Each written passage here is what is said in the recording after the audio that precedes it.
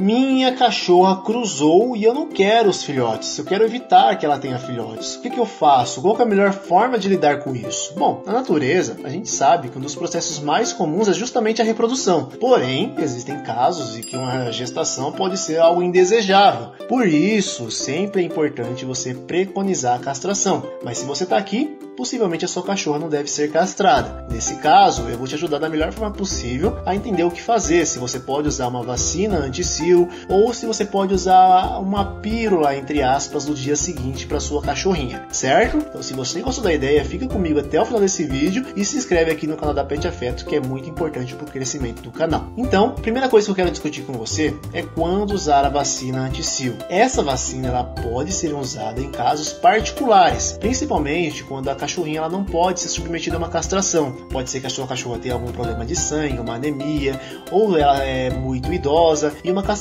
talvez não seja a coisa mais viável. Então você pode levar sua cachorrinha no veterinário para que ele recomende uma vacina anti-sil. Ele vai, é importante que você leve, por quê? Por quê? Porque essa vacina ela deve ser usada no período de anestro da cachorrinha, ou seja, em torno de 110 dias após o sangramento. E é provável que você não lembre a última vez que a sua cachorrinha sangrou. E mesmo que você lembre, não é regra que sempre vai ser 110 dias o período de anestro. Então, para isso, é interessante que o veterinário realize uma ultrassonografia e veja se a sua cachorra ela está apta a receber uma vacina desse tipo. A vacina anti-cio evita o cio, que por sua vez evite que a cachorrinha cruze. Porém, além dos efeitos adversos por ser uma injeção que precisa ser administrada em um período específico, deve ser realizado o acompanhamento e a indicação do médico veterinário. Vale ressaltar, é claro, também outra coisa, que embora a vacina tenha uma alta taxa de eficácia, ela também pode dar problemas na sua cachorrinha, como uma piometra ou até um tumor de mama, por exemplo. A gente chama de hiperplasia mamária benigna, que é o que acontece em muitos dos casos, certo? Então é importante, a sua cachorrinha não pode ser castrada,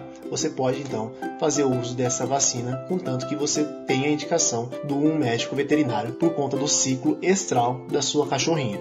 Existe outro método contraceptivo, além da castração e da vacina, e eu estou me referindo, entre aspas, à pílula do dia seguinte. Na verdade, não costuma ser bem uma pílula, é uma injeção que, ao aplicar na cachorrinha, aumenta os níveis de hormônios do estrógeno nela. O hormônio de estrógeno ele é o hormônio responsável por inibir a progesterona da cachorrinha. A progesterona é o hormônio responsável por manter uma prenhez. Então, se você usa o estrógeno, você diminui os índices de progesterona, fazendo que a sua cachorra não consiga manter ali um filhotinho viável no útero dela. Além disso, em outros casos, em casos mais avançados de gestação, ela pode contribuir para a expulsão do feto. A aplicação dessa injeção também só pode ser feita por um médico veterinário, até porque você não vai conseguir achar ela numa casa de ração qualquer, porque tutores sem uma receita ou sem um registro veterinário não conseguem estar adquirindo esse tipo de medicação. Vale lembrar que se sua cachorra cruzou há mais de 45 dias, o uso desse fármaco não é recomendado, porque o feto já vai estar tá mais grandinho, vai ser mais difícil, mais é, prejudicial para sua cachorra. Ela pode não conseguir expulsar o feto e aquele feto acabar ficando morto ali dentro dela, causando vários problemas. Então,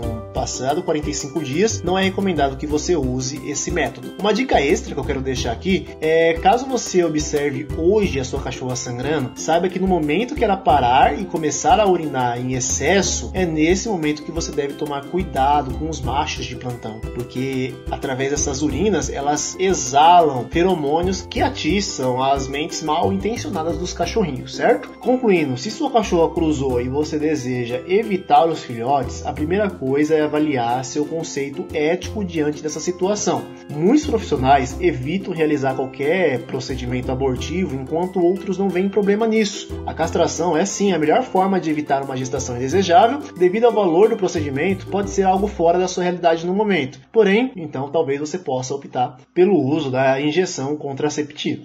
Certo? Eu espero que você tenha gostado desse vídeo, espero ter te ajudado. E se eu te ajudei, deixa seu like aqui e se inscreva no canal da Pet Afeto. Eu te espero no próximo vídeo e até mais.